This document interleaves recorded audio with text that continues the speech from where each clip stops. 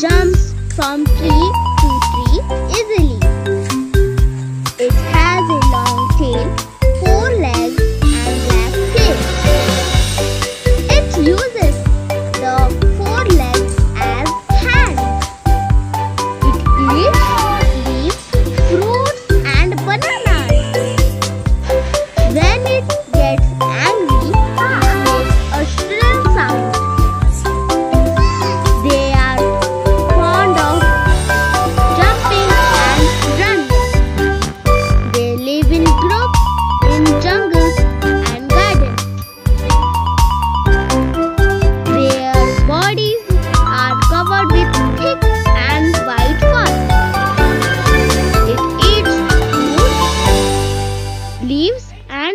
table.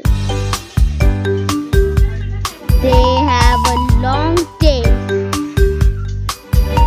The face of monkeys are black.